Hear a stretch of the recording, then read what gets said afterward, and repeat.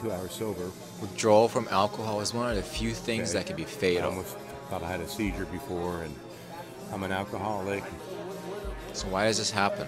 You see, your brain maintains a balance, an equilibrium between neurotransmitters that are uppers and downers. Years of constant alcohol shifts that equilibrium. Now with alcohol removed, all those uppers are left completely unchecked, and boom, you have shakiness, anxiety, tremulousness, seizures.